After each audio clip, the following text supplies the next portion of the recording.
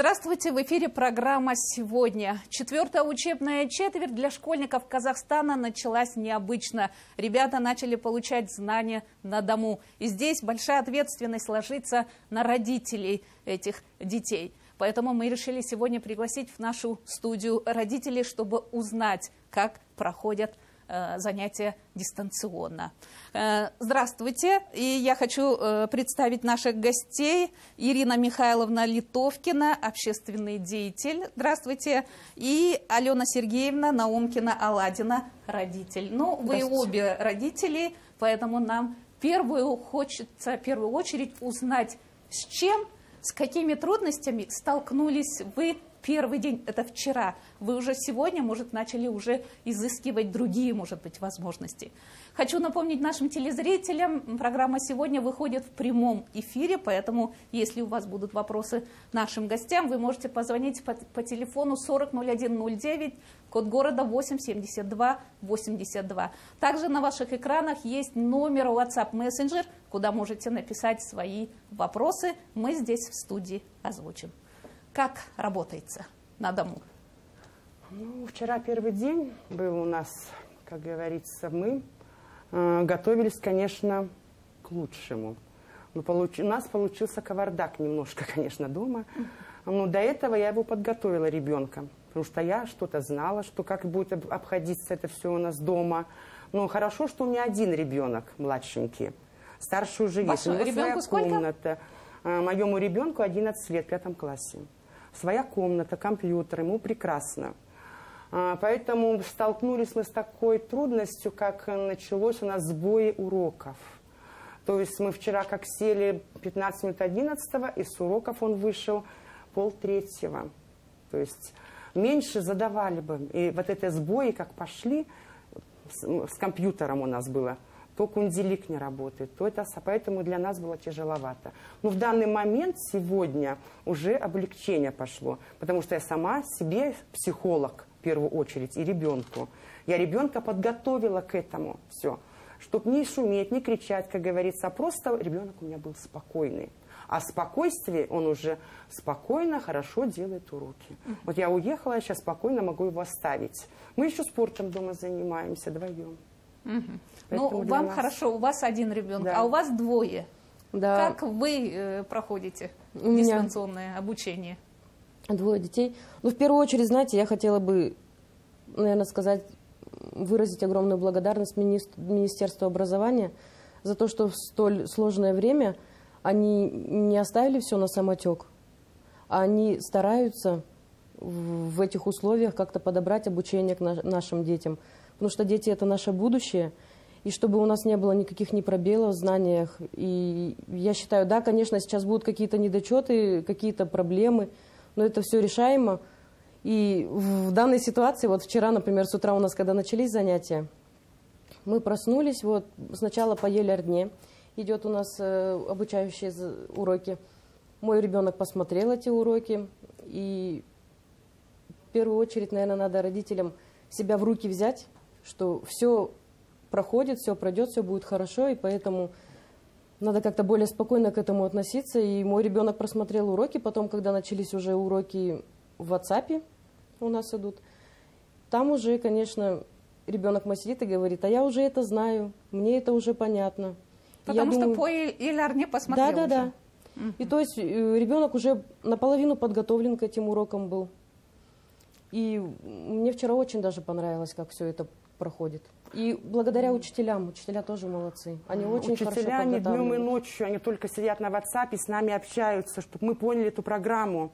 Благодаря, например, нашему классному руководителю мы лучше. Но когда многодетные мамы высылают, одна комната у них. Детям маленьким шуметь нельзя, кричать, мешать уроки. На улицу нельзя. Это все, как говорится, запрещается. Поэтому они тихо сидят. Для них, для многодетных матерей, это очень тяжело. Мне, например, их жаль. Вот какое-то облегчение бы сделать это, это было бы прекрасно. Но несмотря на все Да, это, смотрите, да. мы должны, мы родители заинтересованы в том, чтобы в том наши говорю. дети получили хоть какое-то знание, Да. чтобы пробела какого-то не было. И в этом плане э, нам хочется узнать, например, как вы организовали процесс этот учебный. Вот, например, день, э, если, например, до этого мы утром отправляли ребенка в школу, все, о нем забыли, потому что мы знаем, что там классный руководитель и учителя, они присмотрят, обучат и отправят домой. А тут уже э, не Бросают так. работу, Поэтому, да. поэтому смотрите, как вообще распорядок дня у ваших детей? Какой? Ну, у нас распорядок дня вот с сегодняшнего дня был намного интереснее, чем вчера, потому что вчера нам учитель физкультуры скинул зарядку, видеоурок, и мы сегодня утром начали с зарядки. Мы сделали зарядку, потом мы плавно позавтракали, перешли... Это какой класс? Первый класс. Перешли к обучению, а дочь у меня в четвертом классе. Мы с ним э, посмотрели канал Елерна, потом мы начали заниматься в WhatsApp, то есть учитель присылает голосовые сообщения, объясняет новую тему. Также э, наша школа является участником проекта Мгм. э, Какая школа? школа номер один Бигаши Кундакбаева имени э, в, В селе в Балпахби. Балбак- Балпакби. Вот. И э, университет Центральной Азии сейчас э, разработал программу по развитию именно обучения. Наша школа является участником этого проекта, и они тоже высылают нам всякие интернет-ресурсы, где мы можем посмотреть какие-то уроки, какие-то подсказки для наших детей, чтобы они лучше закрепили тему. Вот. И поэтому обучение даже интересно проходит. Где-то видео мы смотрим, где-то голосовые сообщения. Также онлайн дети сразу отвечают на эти сообщения. И плюс у нас учителя не ставят конкретных рамок по, по времени. То есть нам спокойно дается время. Если ты, ребенок не успевает, то мы можем немножко позже все это скинуть задание, все это отправить. У нас нету таких вот строгих рамок. Это очень большой плюс, это очень хорошо. И мне кажется, ребенок даже быстрее ус- ус- усваивает это всю, всю информацию.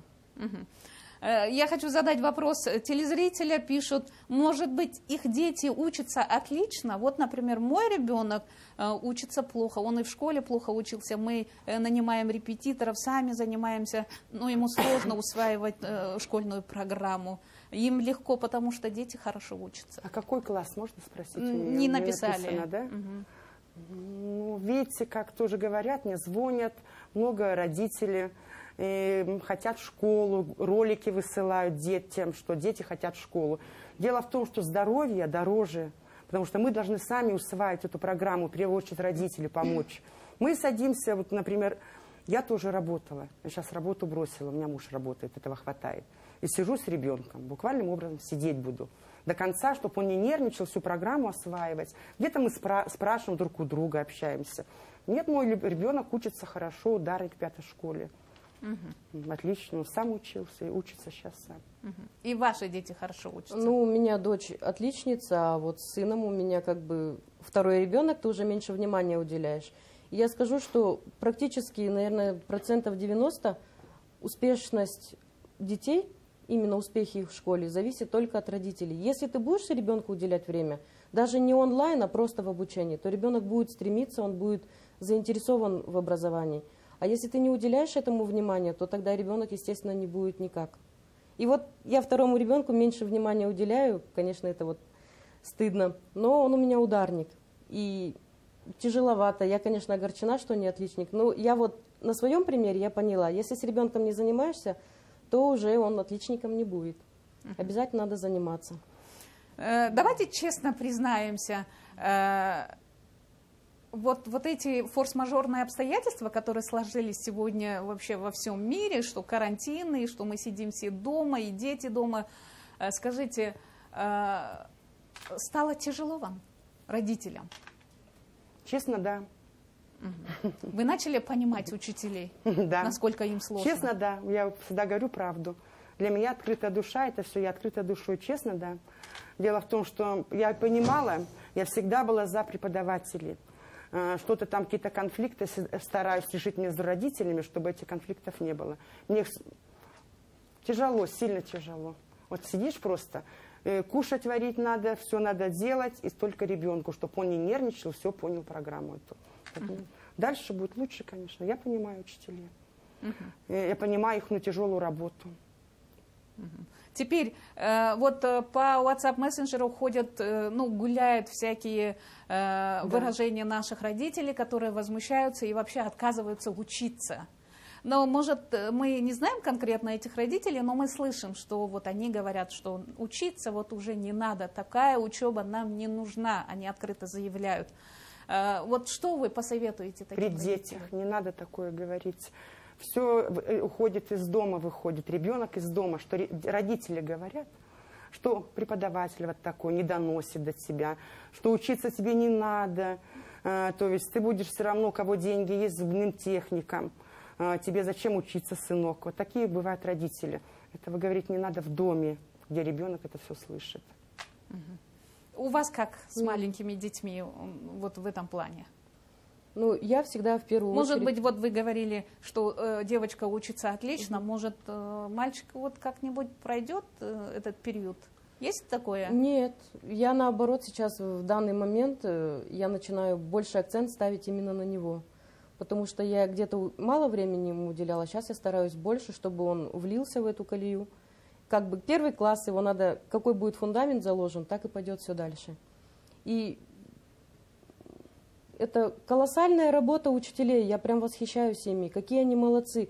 У них есть дома свои дети, и Семьи. они для своих детей ограничивают время для того, чтобы нашим детям дать какие-то знания. Когда родители говорят о том, что они не хотят обучать таким образом детей, ну хорошо, пускай ваши дети сидят. Ну тогда не жалуйтесь ни на правительство, ни на кого по поводу того, что ваши дети не реализованы в жизни. Потому что мы делаем своих детей сами.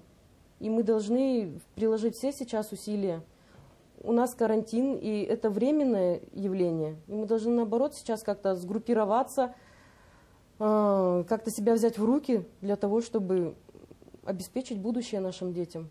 Алиса, программа еще сейчас тяжелая, сложная. Да. Некоторые раз я сама не понимаю. Даже мой ребенок сам делает. Я не подхожу иногда, бывает, того, что сложная программа. Учителям тоже сложно донести но у них же развивается, они все лучше и лучше Конечно. становятся. Поэтому в дальнейшем, будущем это уже будет нормально все. А если, например, мой ребенок ходит на спорт, на английский, э, то есть я никак не могу ему уделить больше внимания. Он. Как он будет у меня отличником, если английский нужно, в школу ходит английскую, на спорт ходит. Поэтому я считаю, если мой ребенок ударник, я за это его, и учителей его похвала у нас всегда дома. Угу. Вот вчера вы получили э, домашнее задание, получили да. вчера на уроках, Конечно. да? Э, как вы думаете, эти выполнение этих заданий будут качественными, поскольку, смотрите, э, дома ребенок может сейчас работает интернет, открыл, угу. не, не задумываясь даже ответил, все записал и ответил, ну отправил угу. э, учителю. Может быть, это все происходит для галочки? У меня как есть ограничения дома. Когда ребенок э, делает домашнее задание, то есть у него нет сотового телефона. То есть ты посмотрел урок онлайн, тебе объяснили, тебе дали задание. Когда мы переходим к домашнему заданию, я забираю телефон, потому что там есть калькулятор. А я противник этого, и поэтому вот наши дети умеют ко всему приспосабливаться, не быстрее нас. Э, всему учатся и быстрее входят в ту или иную какую-то сферу, систему. Поэтому мы просто ограничиваем. И я считаю еще, знаете, когда они сидят в школе, приходят с невыполненным домашним заданием. Где-то может от учителя и проскочить, если ты не выполнил домашнее задание. А вот сейчас такой уже ситуации не будет, потому что учитель уже контролирует, мне кажется, намного жестче выполнение домашних заданий. Домашнего задания лучше. много, много, я так считаю. А, какое мое мнение, что оно действительно много. А, как немножко бы сократить, как-то чуть-чуть бы упростить. Я еще раз говорю, дети не могут ходить на секции. Тяжеловато.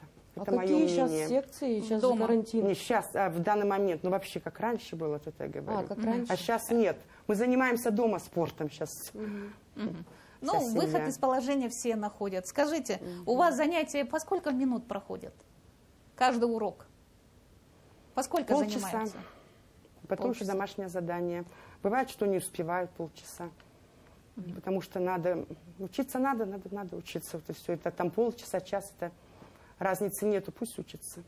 Пока еще таких вот у нас нерв, нервозности нету, как некоторые родители говорят, нервный ребенок, нервный ребенок. Вы подготовьте, и все нормально будет. Э, Скажите, вот вопрос поступил, пишут, ну, у них, наверное, дома большие. Вот у меня, например, однокомнатная квартира, я живу в городе, в Талдыкургане. Мне трудно э, с двумя детьми э, заниматься. Вот что посоветуете? Да, я понимаю, э, есть даже э, э, родители, у которых одна комната, э, трое детей. Но вот что посоветуете? Посоветую только терпение. А, Пусть со мной свяжется. Я буду на связи всегда с ней, поддерживать как-то друг друга будем. А, в каком классе ребенок? Не, не- не написано, да? написали. Мгм. Ну, так вот Ну, иначе. двое детей, это тоже не так. Тяжело. Мама есть мама. Она все вытерпит, выдержит ради детей. Только терпение, терпение, терпение ей, конечно. А тем младшим, которые не занимаются в данный момент, пока школьник занимается онлайн занятиями, мне кажется, можно придумать какой-то досуг для тех маленьких детей, чем-то их завлечь, чтобы они играли.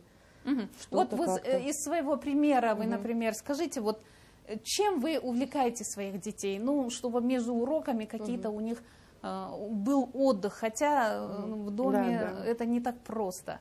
Вот что вы делаете, к примеру? Ну, у нас частный дом, получается, ребенок пока проходит уроки, потом, когда переменка, я ему говорю, все, у тебя перемена законная. Он начинает по дому просто бегать, ему энергию некуда деть. Потом я ему говорю, все, назад, урок начался, он садится. Тем временем, пока у него идут уроки, у меня доча, у них не в одно время занятия. Доча у меня читает, или я даже позволяю на этот момент посмотреть телевизор. И опять же, по телевизору в это время идут у нее онлайн уроки. Пока он занимается, у нее уже идут. Мгм. Вот. Э, Вообще вот эта система, что по телеканалам э, начали э, проводить уроки, это, наверное, какое-то подспорье, наверное, для родителей, для учеников. Конечно, это очень круто. Это, это детям интересно. По телевизору показывают преподавателя, который рассказывает то же самое, что твой преподаватель рассказывает. Им, мне кажется, это наоборот как-то улучшает интерес. Сегодня моему ребенку понравился казахский. Он говорит, как я понимаю больше, вот сейчас в данный момент а, забыла преподавателя, как еще записала, а, я больше стала понимать казахский. А для меня, а для меня казахский, чтобы он изучал, это самое главное. Поэтому бывает, что преподаватель там интересно действительно, природу показывает, самопознание, естествознание. Ну, больше бы времени, не 10 минут, а чуть-чуть побольше бы. Мгм. Значит, уроки понравились даже вам. Вы Да. уже видите, Мы владеете. вдвоем, да, вдвоем. сидим, Начали. Вы смотрим. сейчас вот предлагали свои услуги там помочь, потому что Помочь, психологией помочь занимаетесь. всегда, да. Продиктуйте, пожалуйста, свой телефон, чтобы если кто там хочет э, позвонить вам, э, ну, если вы хотите оказать Да, им я помощь. могу помощь дать такую, что с другими мамами, мамочками будем общаться. И уже как-то друг другу помогать. Однокомнатная квартира это тяжело. М, Скажите номер телефона, что 8 705 863 69 27. повторите еще раз. 8 705 863 69 27. Мгм. Э, Теперь скажите, вот э, есть вопросы, которые здесь говорят, э, из-за того, что нет общения со сверстниками, психологических проблем у ваших детей нет, каким трудностям готовиться другим? У нас совершенно нет никаких проблем насчет этого, потому что дети всегда чем-то увлечены, что-то делают. У меня дочь любит делать слаймы. Они садятся вдвоем, девочки. делают слаймы. Потом, допустим, даже если мальчику там где-то... Они у меня в зале играют в футбол. Я сейчас разрешила на это время. То есть у них есть такая возможность, допустим, там... Я убрала все-все-все там какие-то вещи, которые можно разбить. Они играют в футбол. Даже если что-то разобьют, что теперь? Обидно, жалко, но зато детям не скучно. А у вас мальчик, мальчику тем более тяжело. Нет, ему, да, ему нужно общение. Как я вот, э, ну, находит общение, также с одноклассниками не общаются. По видеозвонку, они разговаривают, общаются.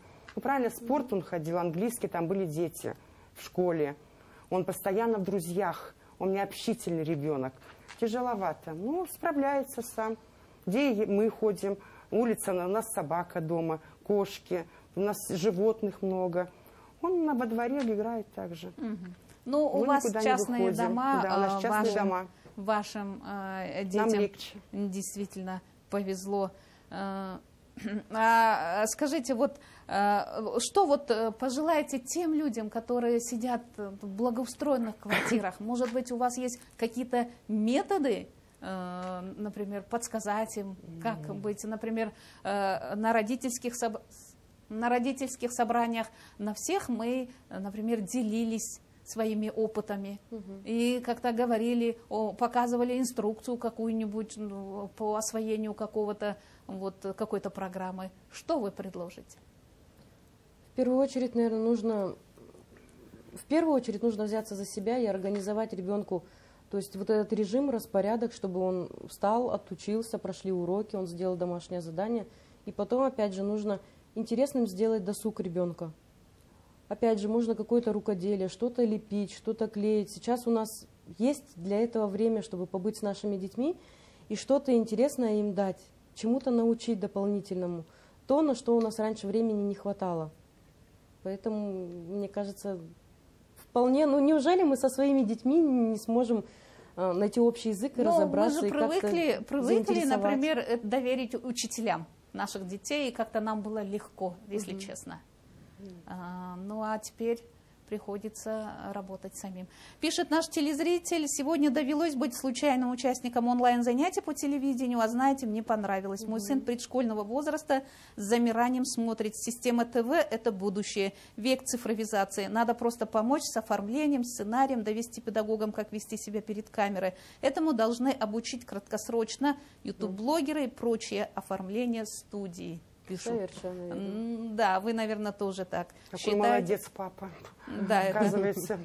И папы тоже участвуют. Я больше своего Это вот ребенка папа стала написал. узнавать. Вот действительно, сколь, насколько я его не знала, вот что у ребенка в душе тяжело было учиться, то все. А сейчас мы больше вместе время проводим.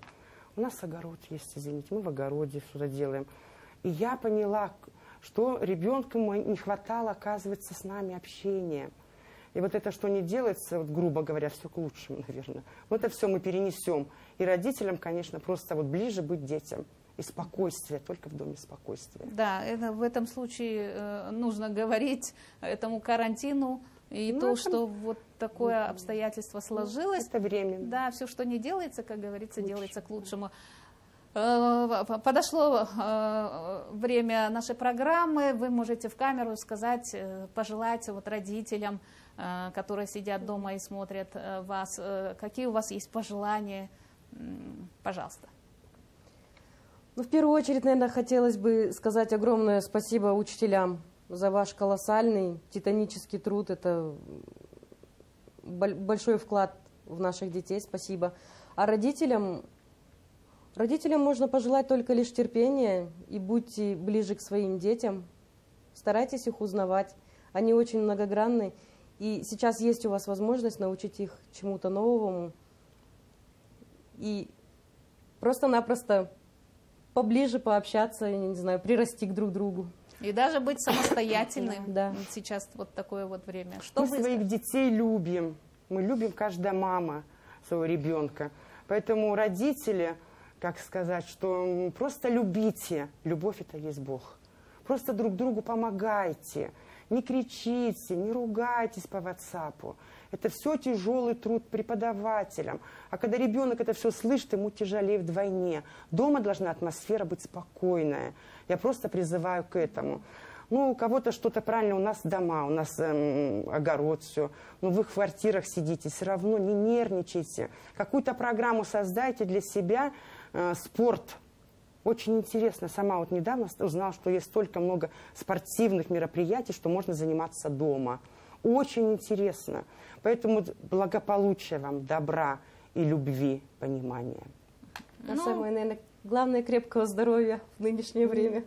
Мы выживем, все выживем, все будем. Недолго это, я считаю, я считаю, что это просто Ой, терпение и любовь. Терпение, терпение, еще раз терпение, ну, чтобы наши дети э, получили хоть какое-то знание, чтобы пробела именно в этот период не было, чтобы отставания от программы Я с вами не было. согласна. Дорогие телезрители, программа подошла в конц- к концу. Э, Встретимся завтра ровно в 16.00. До свидания.